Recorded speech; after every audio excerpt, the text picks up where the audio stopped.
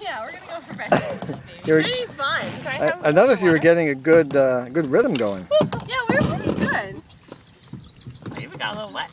I got soaked.